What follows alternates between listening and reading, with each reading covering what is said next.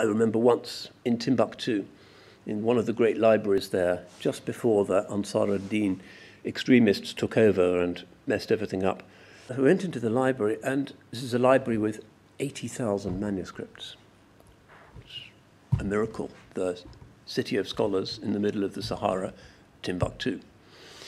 And these two guys went quieter and quieter And I could see that they were really angry because there wasn't a single book that we saw that they could agree with.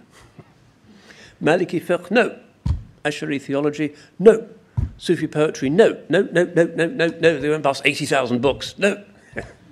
this is the situation we're in, and it's sometimes very difficult for younger people to know what the tradition actually is.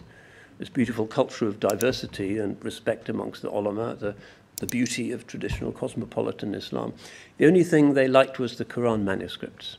So you know, something like that, of course, generates an enormous psychological explosion because they think the ulama are all guilty of treason. All of these scholars who wrote these 80,000 books wrong and we're right. Well, strange. You're semi-literate guys brought up in a stony desert and you know better than Fakhruddin, all these people. Well, that mentality exists.